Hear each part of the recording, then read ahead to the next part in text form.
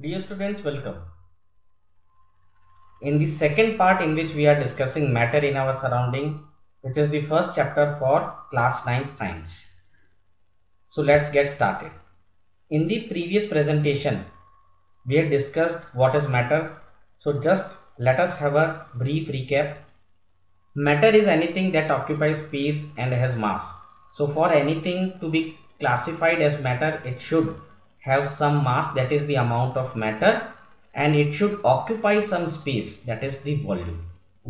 Now the matter basically exists in three classical states which are very commonly seen. Matter can exist either as a solid, liquid or a gas. There are two other rarely seen states of matter also.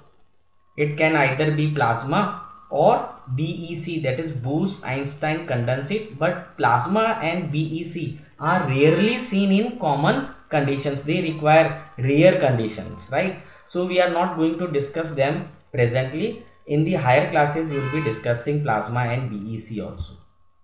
Now according to the Indian philosophers ancient Indian philosophers they classified matter in the form of five basic elements which they called as the panch tattva right Hindi में हम उनको क्या बोलते हैं? पंच तत्व को वायु, पृथ्वी, अग्नि, आकाश और जल।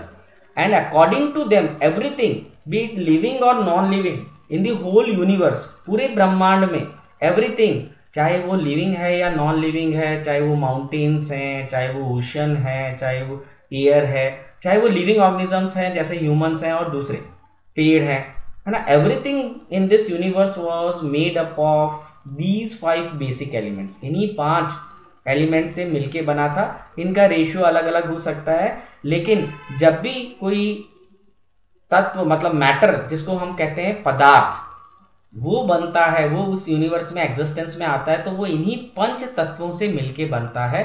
और अगर कोई लिविंग ऑर्गेनिज्म का जन्म होता है तो वो भी इन्हीं पंच तत्वों से मिलके बनता है।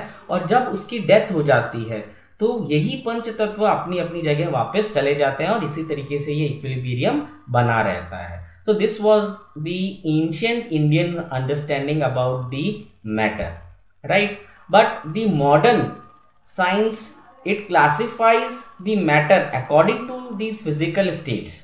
Now the matter basically exists in the three classical physical states which is solid liquid and gases. And i just told you earlier that there are two more states of matter.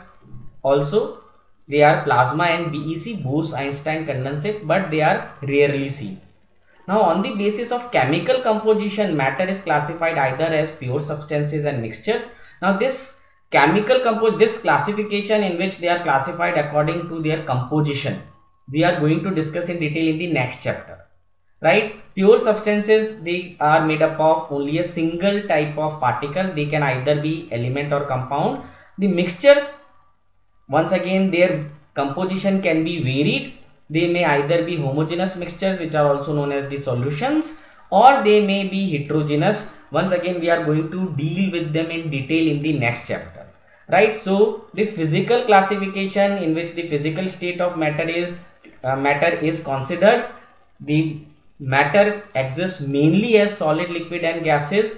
And according to the composition the chemical classification the matter can be classified either as pure substances and mixtures.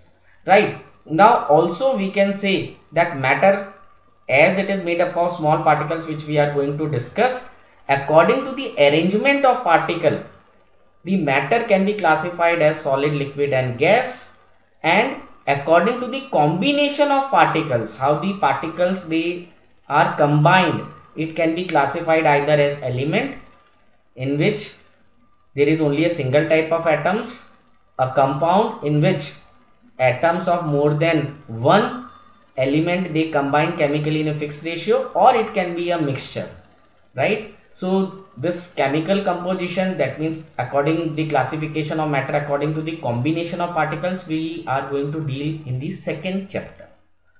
Now once again matter which has space and has mass the classical states of matter are solid, liquid and gases but there are two more states of matter which is plasma and Bose-Einstein condensate which also exist but they are rarely seen because they require conditions which are special conditions.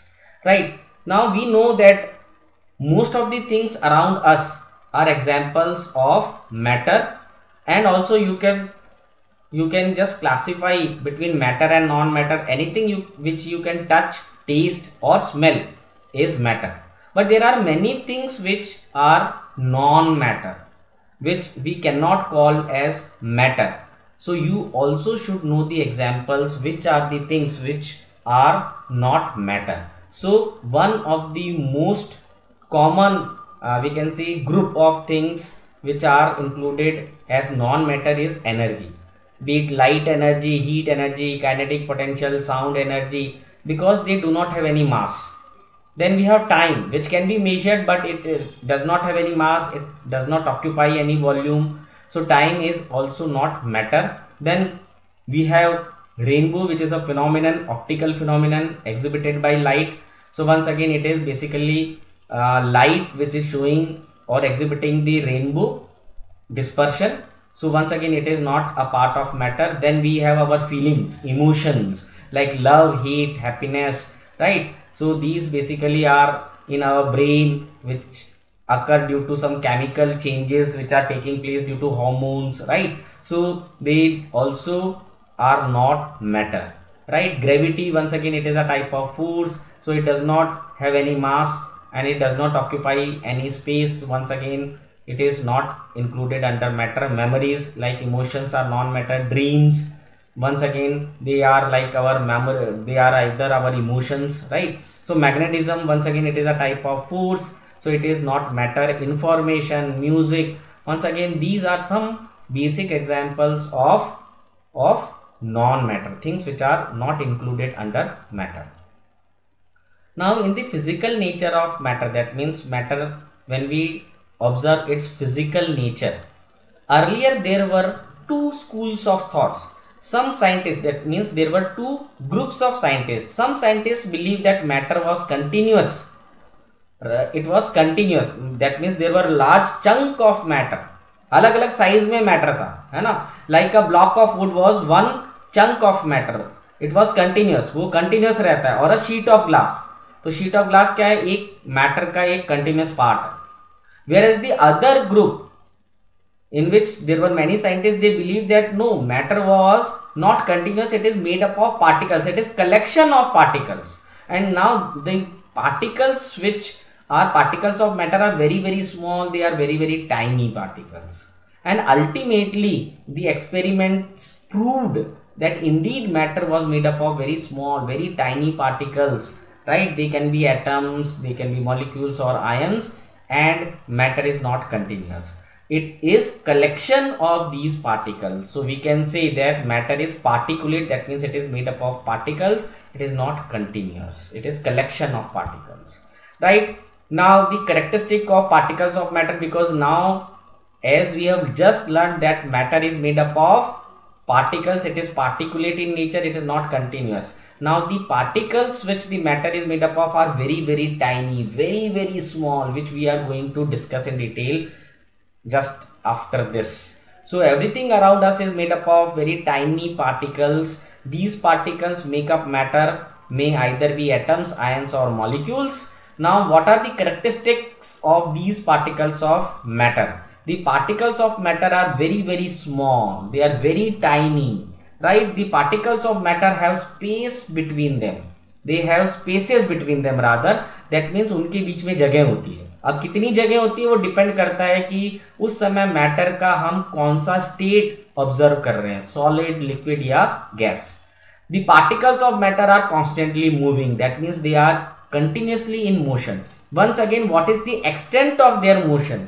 कितना move कर सकते हैं? Once again that depends on the state of matter The fourth characteristic of particles of matter is the particles of matter attract each other that means they have force of attraction between them. Once again this force of attraction what is the quantum? What is the quantum that means वो कितनी force है ज़्यादा force of attraction है या कम है या बिल्कुल ना के बराबर है that once again depends on which state of matter which uh, we are considering that time. So matter is made up of particles. It is particulate in nature how do we proof कैसे? What is दूफ कैसे explain कर सकते हैं? So there is a small activity which will prove that the matter is made up of particles so in this activity take some water in a beaker and note its level तो आप यहाँ पे देख सकते हो कि हमने यहाँ पे एक ग्रेजुएटेड सिलेंडर लिया है। ये ग्रेजुएटेड सिलेंडर में क्या होते हैं? मार्क्स होते हैं। ये 100 एम एल वाटर है। ठीक है सिमिलरली हमने यहाँ पे एक बीकर लिया है। इसमें भी हमने मार्क कर लिया कि वाटर का लेवल अभी क्या है, कितना है, ठीक है? Okay now dissolve some salt और शुगर कुछ आप सॉल्ट ले सकते हो सोडियम क्लोराइड जो कॉमन सॉल्ट होता है, या शुगर शक्कर ले सकते हो एंड डिजोल्व दैट शुगर और salt in that in that water right and stir with the help of a glass rod एक ग्लास रॉड या चम्मच की सहायता से आप उसको हिलाइए, है ना? द सॉल्ट और the sugar will dissolve in water but the level of water will not change the volume of water will not change तो जब वो सॉल्ट डिजोल्व हो जाता है या वो शक्कर जो आपने चीनी जो ऐड की है, वो पूरी तरीके से उसमें घुल जाती है, फिर आप ऑब्ज़र्व करोगे कि जो वॉल्यूम है, जो उसका लेवल था पहले, अभी भी वही लेवल तो जो हमने शुगर या जो सॉल्ट ऐड किया है, वो कहाँ गया? क्योंकि पानी तो पहले भी उतना ही था और अभी भी उतना ही है. तो क्या हुआ?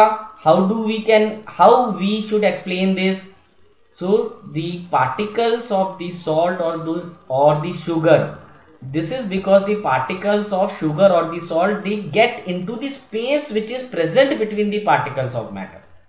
है ना? वाटर जो है, वो भी क्या मैटर का ही एक फॉर्म है, आपको मालूम है लिक्विड में है वो। तो जो वाटर के molecules H two H two H two उनके बीच में स्पेस है।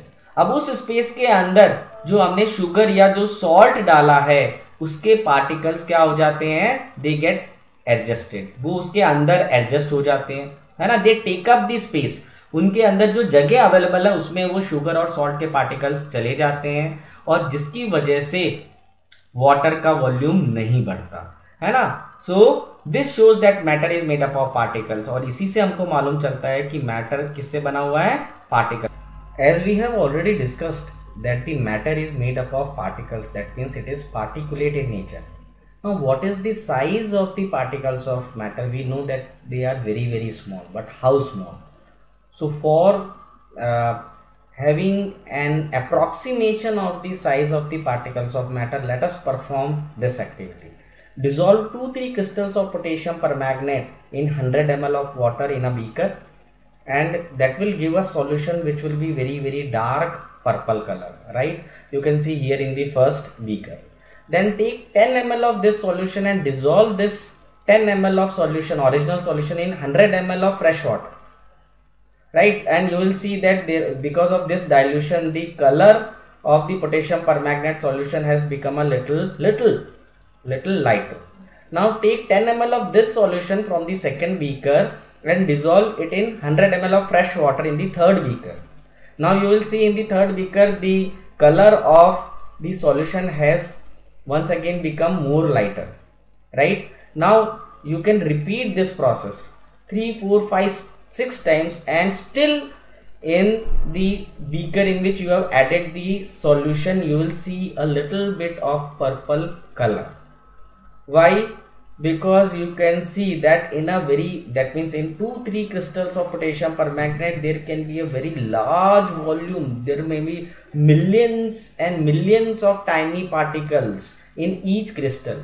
And because the number of particles in each crystal is so much high and therefore even after dilution so many times still the color basically persists after dilution so this basically gives an approximation of the number of particles in each crystal. And if the number of particles are so high that means the size of each particles would be very very tiny right? So how much small are the particles? The particles of matter are very very small. They are beyond our imagination. We cannot see the particles of matter even through the most sophisticated microscope right? So an atom has a size which is 10 raised to the power minus 8 centimeter or we can say 10 raised to the power minus 10 meter right? So this is the size of an an atom. And if you can imagine what are the number of particles the number of molecules of water in just one drop of water? The particles of matter are so small that even in one drop of water there are about 1.67 into 10 raised to the power 21 which is known as the sextillion. So 1.67 sextillion water molecules that means 10 raised to the power 21 is known as sextillion. So 1.67 sextillion water molecules are present in just one drop of water. And if you want to know the number of atoms because the number of atoms in one molecule of water is 3 H2O two atoms of hydrogen and one atom of oxygen. So number of oxygen uh, number of atoms are still more. That means 5.01 sextillion. That means 5.01 into 10 raised to the power 21 atoms are present in each drop of water. Now you can imagine imagine what is the size of particles of matter. Now the particles, the second characteristic, the particles of matter have space between them. Right, we have discussed this. Take some water in beaker and note its level and dissolve some salt or sugar in it with the help of a glass rod. Now the salt dissolves in water but the level of water does not change. This is because the particles of salt they get into the space between the particles of water and this once again proves that the particles of matter have space between them right the particles of matter are continuously moving the particles of matter are continuously moving. How do we explain this? So take some water in a beaker and put a drop of blue or red ink very slowly. Do not steer it along the side of the beaker. Leave it undisturbed for a few hours. The ink spreads evenly throughout the water automatically. Now why this has happened? Because the molecules of water and the particles of water. That means the particles of ink they are moving the particles of water are moving and because of this the ink and water they get uniform. That means the uh, spread the ink spreads evenly throughout the water after some time. Now this intermixing of two or more different types of matter on their own is known as diffusion right? So now this movement of particles once again what is the extent of movement of particles depends on the physical state. The highest movement of particles is seen in gases right? The highest amount of kinetic energy they possess. The movement of particles of liquid is a bit restricted as compared to the gases but in solids the movement is very very less. The movement is just vibrational movement right now the particles of matter they attract each other. That means the particles of matter have force of attraction by which they attract each other. So how we can ascertain or we can confirm this. So take a iron nail, a piece of chalk and a rubber band. Try breaking them by hammering, cutting or stretching. Now it is more easier to break the chalk. You will just like if you crush the chalk very easily it gets crushed and it becomes powder and it is less easier to break the rubber band and it is very very difficult to break the iron nail. Now why there is a difference? There is a difference because in iron the particles of iron are they are very very they have very high or very strong force of attraction with each other. This is because in iron nail the particles of iron the atoms of iron they are held together with very strong force of attraction the force of attraction is least in case of chalk in this case right? So the force of attraction basically depends on once again depends on the type of matter the state of matter also. Like in solid the force of attraction is highest in liquid it is moderate and in gas it is the least. So the forces of attraction between the particles of matter which bind them together are known as the intermolecular forces of attraction now the force of attraction between the particles of the same substance is known as cohesion. Now solids have the highest force of attraction followed by liquid and the force of attraction is least in gases. Therefore the particles of solid are closely packed. The particles of gas are free to move because the force of attraction between the particles of gas is least. Right. So we can see here now in gas the weak attractive forces between molecules are there. Therefore the space between them is so high and therefore the movement of the particles is very high because the kinetic energy is also higher. Intermolecular forces are stronger in case of liquid compared to gases. And the most strong forces or we can say the amount of forces intermolecular forces between the particles of solid is the highest. Right and therefore the space between the particles of the solid is very very less. So the state of a substance depends largely on the balance between the kinetic energies of the particles and the interparticle energies of the attraction which we are going to discuss when we discuss the difference between the different states of matter between the solid liquid and gases. So thank you. I hope that you are able to comprehend this. And let us just recollect very briefly what we have learned. Matter is anything which has mass and occupies space right? Matter is made up of very tiny particles. Particles of matter have space between them right? And particles of matter are in constant motion. The particles of matter have force of attraction between them and therefore there are different states of matter right? And matter exists mainly in three physical states or phases which are solid liquid and gas. And there are two more states which is plasma and bec but they are very rarely seen. Right? And i hope that you have comprehended this lecture. And if you have any doubt you can address me your query on the whatsapp. Thank you very much